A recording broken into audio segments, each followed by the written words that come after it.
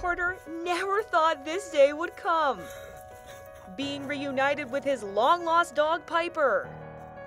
It's kind of crazy. I just I walked out of school and I saw her the first day. I didn't really believe my eyes when I saw her, and I, it was like I, I didn't really believe it.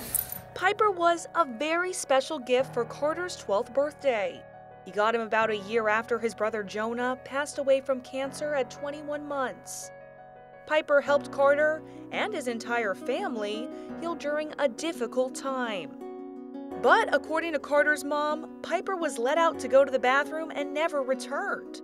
Carter was devastated.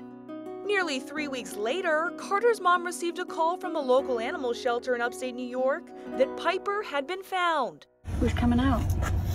Who's coming out? Who's that? So his mom thought she'd surprise Carter with his new best friend at school pickup.